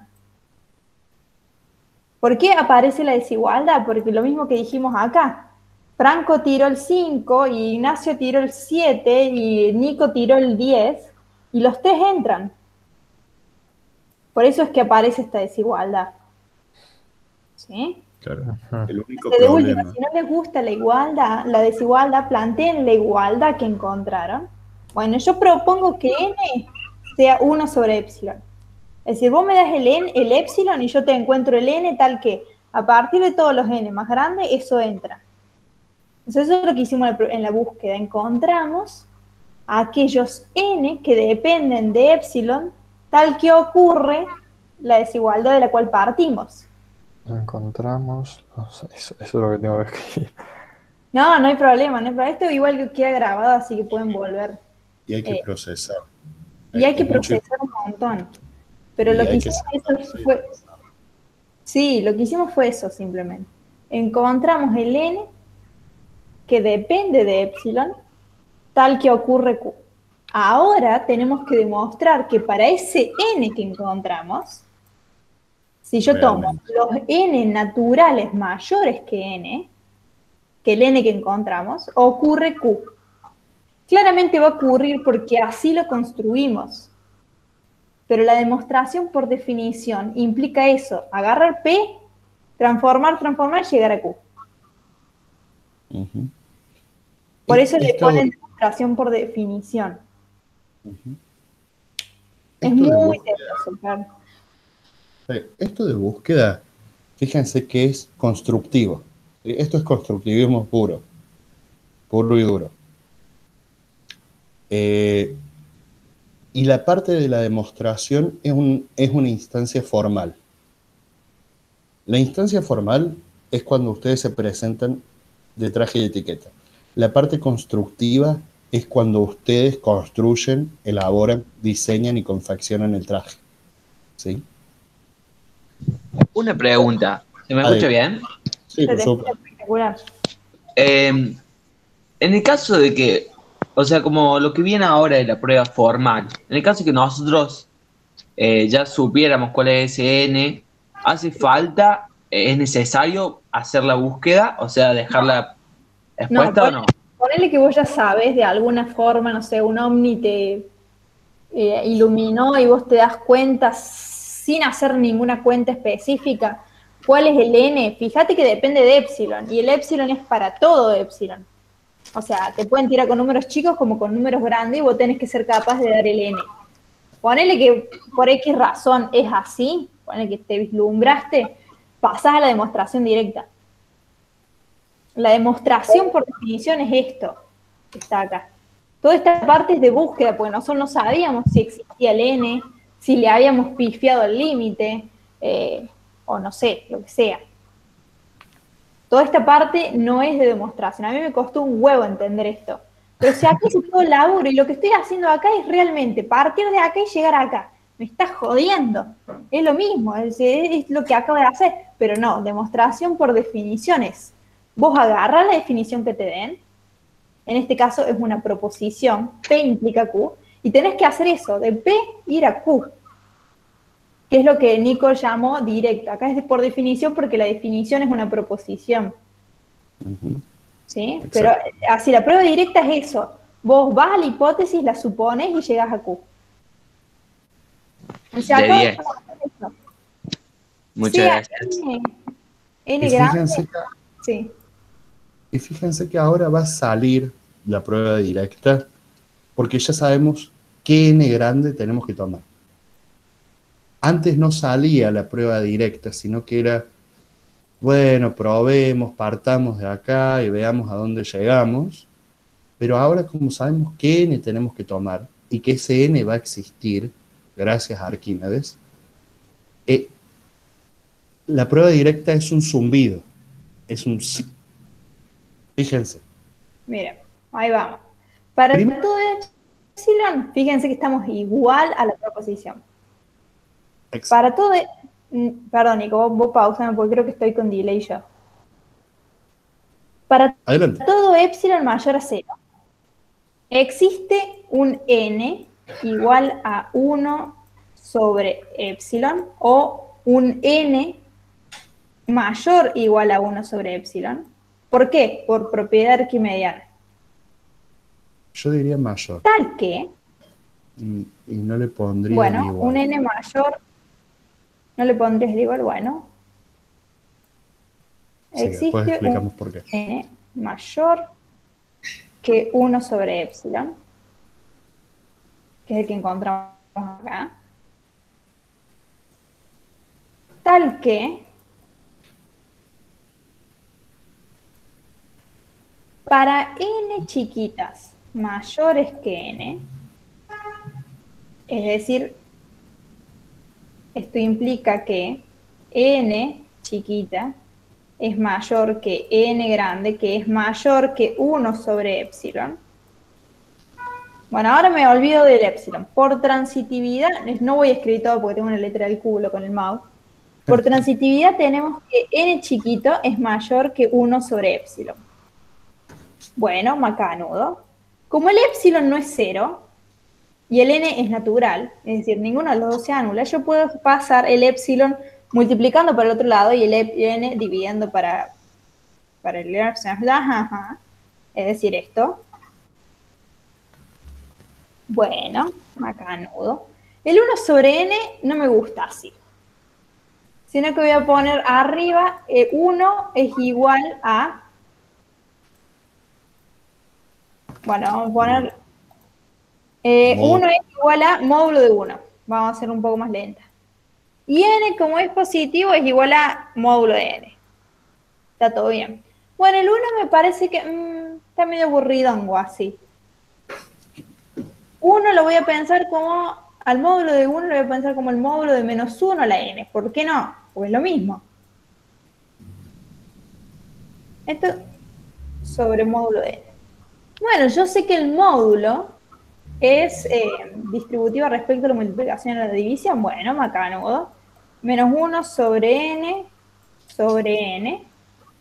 Oh, pero qué aburrido así. Esto es lo mismo que menos 1 a la n sobre n menos 0. Ah, qué fachero quedó. Bueno, entonces, epsilon más grande que menos 1 a la n sobre n menos 0. ¡Oh, qué onda esto! Esto es a n. Y esto es el límite que quería probar. Entonces, yo partí de que n chico es mayor o igual que el n grande, y por pruebas algebraicas, que fueron las que usé en la búsqueda, ni más ni menos, llego a que epsilon es mayor que la distancia entre AN y L. Y aquí está su primera prueba por definición. Una aclaración acá, quizá es un poquito sutil, pero mírenlo. Eh, ¿Por qué no decimos que n sea igual a n grande, sea igual a 1 sobre epsilon directamente? Porque n grande tiene que ser un natural. Si a nosotros nos diesen epsilon, no sé, raíz de 5 dividido 1000, n grande no nos quedaría un natural. Nos quedaría 1000 dividido la raíz de 5. Eso natural no es. Por eso siempre tenemos que pedirle que el n grande sea tal que, sea tal que es mayor que 1 sobre epsilon o la formulación clásica que 1 sobre n grande, que existe ese n grande, es menor que epsilon. Esta propiedad arquimediana, porque creo que muchos la toman como con miedo, me parece, no es otra cosa que lo siguiente. Arquímedes un día eh, se plantó y dijo, supongo que yo tengo una varita, no mágica, sino una regla de longitud 1. Y tengo otra regla de longitud re chiquita, que llamó Epsilon, porque él era griego y usaba letras griegas. Yo, yo podré ser capaz de sumar las barritas, o sea, copiar las barritas chiquitas, una al lado de la otra, hasta que me supere la, la regla de longitud 1? Arquímedes dijo, la lógica indica que sí. Y nosotros dijimos, esto se convirtió, esto se convierte en un resultado de un axioma que es el axioma de la completitud. O sea, nosotros sabemos que si hacemos n veces la regla epsilon, eso nos va a dar mayor que 1. que la regla de longitud 1. Es simplemente poner una reglita epsilon al lado de otra reglita epsilon, al lado de otra reglita epsilon, y Arquímedes nos dice, hacelo n veces, con n una cantidad natural de veces. O sea, una, dos, baño. cinco, dale, 4, 5, 6, 7, etcétera. Pero va a existir un punto a partir del cual vos, multiplicando o, superponiendo, o sea, haciendo esa suma de segmentos de longitud de epsilon, una cantidad n de veces, te vas a pasar de la regla. Entonces, fíjense lo que queda. n epsilon, n por epsilon es mayor que 1. Bueno, paso el n dividiendo y me queda que epsilon es mayor que 1 sobre n, o que 1 sobre n es menor que epsilon. Pero se dan cuenta de que la propiedad arquimediana no es una locura, ¿no? ¿O sí? Sí, sí, es algo relativamente lógico que formalizando quede raro, pero cuando lo pensás de otra manera se entiende. Claro, o sea, Si lo puedo aplicar y me sirve para comprobar las cosas, ya está. Me conformo. Está buenísimo. Porque no tengo que eh, probar la propiedad arquimediana, digamos. de hecho sí hay una forma de probarlo. La prueba es la siguiente. La propiedad arquimediana tiene dos versiones. Una la primera parte de la propiedad arquimediana nos dice que los números eh, reales eh, no están acotados, que los números naturales no están acotados superior. No, esta sería la. Perdonen, me hice un lío. O sea, para todos los números reales, para cualquier número real, hay un n que le gana, hay un natural que le gana. O sea, los reales no están acotados superiormente. ¿Se entiende eso? ¿O no se entiende? Sí. Sí, sí. Un pescado más grande, diría Dan. Claro, el pescado más grande. Exactamente, me encantó eso. Esa es Poesía. la primera parte. O sea, uno asume el axioma del supremo, que yo le llamo axioma de completitud. Pero bueno, supremo. Implica que los reales no están acotados superiormente. O sea, que no hay un número real que sea mayor que todos los otros. Siempre va a haber un bicho más grande. Y eso, a su vez, implica que los naturales no están acotados superiormente. Y si los naturales no están acotados superiormente, quiere decir que si existe un epsilon que le gana a todos los naturales, vamos a llegar a un absurdo, una contradicción, porque no puede pasar eso. Por lo tanto, por lo tanto, sí es cierto que 1 sobre n, que para todo epsilon hay un natural que multiplicando por e, que multiplicado por epsilon le gana el 1. O sea, es una no, no, no, no di la prueba, para nada. Es una prueba por reducción al absurdo. Después, si quieren, la vemos. Pero lo que quiero decir con esto es que se puede probar. Pero la idea de las reglas, ¿les queda clara o, o buscamos otra idea? No, esa, esa está buena. O sea, yo lo, lo entiendo. Sí, sí, se entiende. Se entendió, se entendió. Perfecto. Y fíjense que valen para cualquiera, cualesquiera dos magnitudes positivas. Pero si yo tengo una regla de tamaño A y otra regla de tamaño B, Arquímedes me dice, la regla de tamaño A va a ser menor que n veces la regla de tamaño B. O al revés, viceversa. Depende de cuál sea más grande, más chica, no importa. Pero eso quiere decir en este caso, A es 1 eh, y B es epsilon, ¿sí? Pero bueno, son las, son las letras creo que asustan bastante. Yo creo que si, si lo viésemos desde la geometría, que Y es el miedo que le dan al epsilon. ¿Hola? ¿Dani? ¿O, o No, quién no, era el- estoy la con que delay, siguen, siguen. Yo, yo, yo. ¿Tu perro? ¿Se llama Rocky? Mi perro se llama Rocky, pero estoy con problemas de internet. Así, sigan, sigan. Entonces, eh, la idea es la siguiente. La propiedad arquimediana no la guarden en el, en el placar. La usan todo el tiempo, toda la vida en análisis 1. Eh, por ejemplo, la van a tener que utilizar cuando yo les diga, y bueno, y la sucesión 1 sobre n al cuadrado, ¿a dónde tiende? Y también tiende a cero. ¿Y cómo lo pruebo? Por definición. Y con la propiedad arquimediana. Porque 1 sobre n al cuadrado es más chiquito que 1 sobre n.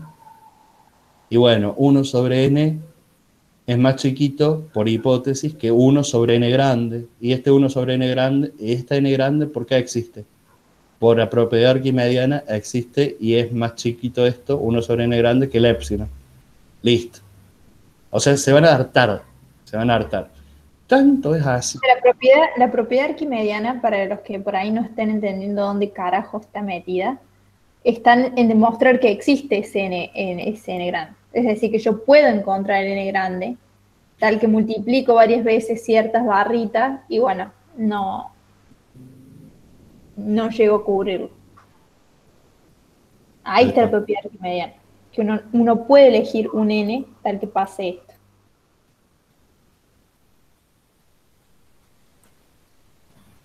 Bien, y con esto probamos tipo la definición Ah, del límite, volviendo al ejercicio. Ay, perdón, ay, eh. volviendo, no, no, no, justo estaba pensando en eso mientras estaba yendo al baño.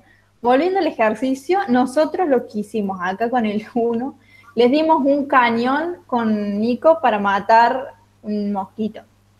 Demostramos por definición que es lo que ustedes tienen que hacer en el ejercicio 2, por ejemplo. Ah, acá no tenían que. Ah, No, bien. no, no, no, pero les sirve. En el 1 ese va- en el uno les están diciendo, por ejemplo, en el B, en contra del AN, que se encuentra a una distancia de L, es decir, de 0, mayor que epsilon. Y les dan epsilons, por ejemplo.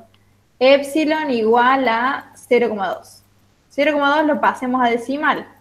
No es otra cosa que 20 dividido 10, que no es otra cosa que eh, Dos. Sí, Dos. sí, que- Para, eso es raro. 0,2 es. eh, No, Un 2, quinto. sí, sí, sí. ¿Por qué me fui? Digo 2. es un quinto. O sea, eso sería dos décimas. Sorry, sí. Eh, que sería un quinto. Bien, entonces le están diciendo encontrar los AN, tal que ocurre que el módulo, o sea, la distancia de AN a L, que era 0, sea mayor que 1 sobre 5. Es decir, les están pidiendo que encuentren los 1 menos 1, digo 1 sobre n, 1, bueno, me están entendiendo porque lo estoy dibujando, chicos, estoy ya quemadas. Entonces, ¿alguien se da cuenta, por ejemplo, para qué n pasa eso?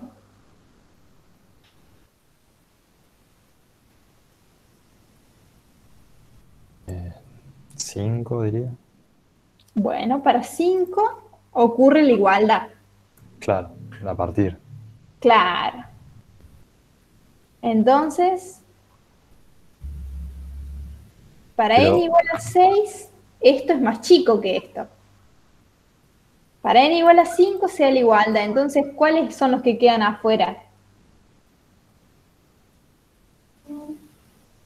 n igual a 4, n igual a 3, n igual a 2, n igual a 1. Pero, Es como más complicado el ejercicio de lo que debería ser. Eh, pero eso, eh, eso no son los que te quedan, los que quedan adentro, es otra vez no entiendo. Claro, No, los que no. quedan adentro son a partir del n igual a 5. Ok, Adentro Ah, de la bien, bien. Pero acá te están pidiendo los que quedan afuera. Es, es como medio absurdo. En vez de pedirte a partir del n que quedan todos adentro, te están pidiendo los pares que quedan afuera. Fíjate, ok. que Es como medio absurdo, pero bueno. si hiciéramos, si hiciéramos lo de antes, Fíjense que la Acá- desigualdad está al revés, ¿no? Claro, Para demostrar que queda adentro había que ser menor que epsilon. Y acá por eso yo lo puse mayor que epsilon. Claro, bien. porque son los que quedan afuera. Bien, ahí entendí. Fíjense todos, y, y Franco, que acá tenemos un ejemplo de lo que estaba pasando antes con las letras, que por ahí, si no se entiende, también lo podríamos ver de esa manera. Acá tenemos un epsilon dado, 0,2, que ya vimos que es un quinto. ¿Quién es el n grande que tiene que existir por la propiedad arquimediana y brr, brr, tal que a partir de ese n grande todos los términos de esa sucesión, de la sucesión, son más chicos que un quinto? O sea, al revés. Nico, estás pidiendo los que quedan adentro. El 5, ¿o no? El 5. El n grande es el 5. Lo dimos explícitamente. Si n es mayor o igual que 5, todos los términos de la sucesión quedan contenidos en la franja eh, menos 0,2, 0,2. Los anteriores quedan afuera de esa franja. Por eso para mí es más fácil encontrar a partir del cual todos quedan adentro que encontrar al revés. Bien, bien. Mm. Pero fíjense que están poniendo con números la prueba que ya hicimos en realidad. Ustedes lo que podrían hacer, dado que ya lo demostraron por definición, es chequearla. Bueno, acá te están dando un epsilon 0,1. Bueno, vayamos y tratemos de encontrar el n tal que todos adentro. Los, que los n más, más chicos que ese n claramente no van a satisfacer la desigualdad y van a quedar afuera. Pero es una muy buena prueba, dado que ya hicimos la demostración por definición, para chequear que está, que está bien, que está correcta. Y si son muy prolijos, yo hasta me animaría a hacer el esquema, el dibujito. Ujú. Ustedes van a poner las barras y les va- van, van a ver que a partir de- del n que encontraron quedan todos los puntos adentro y todos los n más chicos quedan afuera. Fíjense que acá tienen números, bueno, salvo el 0,05, pero los otros son más o menos lindos, si hacen bien a medida todo. El 0,1, por ejemplo. Si yo les doy epsilon 0,1. ¿Cuál es el n grande por Arquímedes que tiene que existir? A ver, trabajo colaborativo. Pasen el 0,1 a fracción.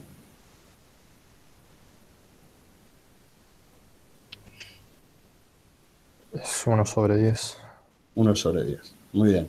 Para este epsilon, Arquímedes me garantiza que hay un n grande tal que 1 sobre n grande es menor que un décimo.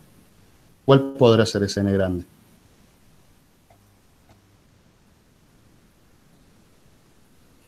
Y 10. 10 no valdría porque ahí queda la igualdad. Acá Ah, queremos... claro, sí. Entonces, 11, supongo. 11. n igual mayor o igual que 11 ya lo Claro, satisface. Entonces, ahora prueben. Si n es mayor o igual que 11, 1 sobre n es menor que 1 sobre 11, que es menor que 1 sobre 10. Y el 1 sobre n, por todas las transformaciones que le hicimos, es el menos 1, el módulo de menos 1 a la n sobre n. Yo me animo a elegir la igualdad a veces, dado que la demostración dice para los n chiquitos mayores a n. Es decir, si vos elegís 10, lo que estás diciendo es que para 11 se satisface ya la desigualdad. Porque te están pidiendo los n mayores a n. Por Mm, eso yo a veces me agarro justo del borde, de- desigual. Claro, el problema es que si te agarras, si, si, si te agarras ahí, quedas sobre la, fra- sobre la Claro, quedas franja. justo sobre la franja. Y vos Y querés ves, quedar bueno, a partir de todos ese, claro. Ahí depende mucho la sutileza, ahí ya se van a ir dando cuenta. Hay profes que les gusta, hay profes que no. Eh, los del teórico hay veces que le ponen el igual, hay veces que no. Ahí pasan tanto. bien. Para ir cerrando, porque ya estamos Nos todos cansados, carajo. No sé qué hora es ni, nada por el estilo, pero para hacer unos breves comentarios de cierre. Se han dado cuenta de que la definición es buena. O sea, la definición satisface lo que a nosotros nos gusta, lo que queríamos. Perfecto. Ahora, probar un límite por definición es un embole. Entonces, ¿qué hacemos? Nos buscamos criterios para probar los límites. Un criterio es uno que mencionó Meli al comienzo, que es el lema o el, o el criterio del sándwich o del emparedado. Vos sabés que tenés una sucesión re difícil, ¿no? Pero si vos a esa sucesión le podés encontrar otra sucesión que le gana, o sea que es más grande, y otra sucesión que está por abajo, y la sucesión de arriba y la de abajo convergen a lo mismo, al mismo L, entonces la del medio queda ensanguchada y averiguaste que sí, converge.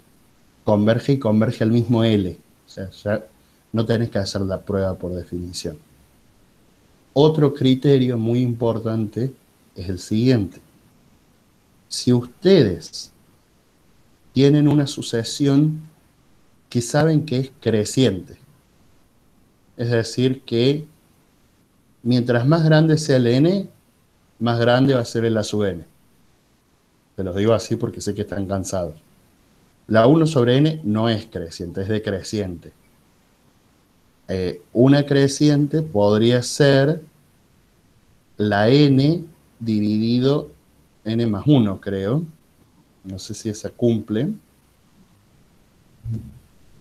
Eh, creería que, que sí, pero bueno, lo tendremos que ver. Eso también es parte. Pero bueno, si ustedes tienen una sucesión que a medida que crece el n, aumentan los números, a, y esta sucesión está acotada, o sea, no se me pasa de un cierto número real, o sea, que tiene un supremo, entonces tiene límite. ¿Por qué? Porque la sucesión va creciendo mucho, o creciendo poco, pero bueno, va creciendo, pero no se me pasa de un tope que tengo acá, arriba, de un techo, entonces sé que la sucesión tiene límite. Y lo más interesante de esto es que el límite de esa sucesión es el supremo de la sucesión, porque la sucesión como conjunto está acotada. Y eso es lo que están viendo ahora en topología cuando ven punto límite, por ejemplo. El punto límite sería como el supremo de un conjunto. Otro criterio, otros criterios son el criterio de la suma del producto y de la división. O sea, por ejemplo, ustedes tienen dos sucesiones, A y B, y las suman. Y supongan que saben que la sucesión A tiende, no sé, a 6 y la sucesión B tiende a 7. Y ustedes dicen, che, ¿y la suma? ¿Tenderá algún límite? Sí, tiende. ¿Y cuál es el límite? El producto. Yo digo la suma. O sea, si, las, si la A tendía a 6 y la B tiende a 7, entonces la A más B, sub n todo, tiende a 6 más 7, 11. Listo, son Dios. El concepto de que una sucesión sea mayor que otra, eso no lo entendí. ¿Es que es el límite más grande? No. Eh, ah. Quiere decir que para todos los n, para cada n, la b sub n como número tiene que ser mayor que la sub n como número. Vos pones, te lo pongo en número. Agarra el 1. El b1 tiene que ser mayor que la 1. Ah, el 2 tiene que ser mayor que la 2. El B3 mayor que la 3 y así. Sí, sí, perfecto. Gracias. Como número. Lo mismo para el producto, que va a ser el producto de los límites, o sea que si las sucesiones son las mismas, A sub n y B sub n, pero ahora se están multiplicando, A sub n por B sub n, y una tiende a 6 y la otra tiende a 7, el límite de esta nueva sucesión, producto, va a ser el producto de los límites. 6 por 7 da 42, ¿no? Bueno. Y fíjense, si ustedes tienen la 1 sobre n al cuadrado, es la que les decía recién. Yo les dije que esto lo pueden probar por definición que tiende a 0, pero es una embole. A la 1 sobre n al cuadrado la pueden escribir como 1 sobre n por 1 sobre n. Y la 1 sobre n ya saben que tiende a 0. Entonces esto tiende a 0 por 0. 0. Sutilezas más, sutilezas menos. Estos son básicamente los criterios de convergencia que ustedes van a aplicar a lo largo de todo este práctico, que tienen que tener mucho cuidado, pero que los van a poder aplicar y les va a salvar las papas.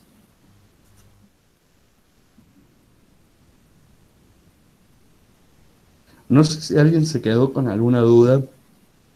Si alguien se quedó. Yo creo que han quedado varias. Eh, por ahí hemos ido muy al detalle. Eh, no sé qué podemos hacer. Si quieren que el viernes que viene trabajemos ejercicios puntuales, si quieren ir preguntándonos y que vayamos resolviendo, si esperan, eh, como, como les decía, más, más sencillo porque les queda todavía, que nos queda un viernes, digamos, para el parcial. El próximo viernes es 30 y el parcial lo tienen el miércoles siguiente. Sí. O sea que, bueno, si quieren aprovechar el espacio para... Es para- el lunes, ¿eh? no el miércoles.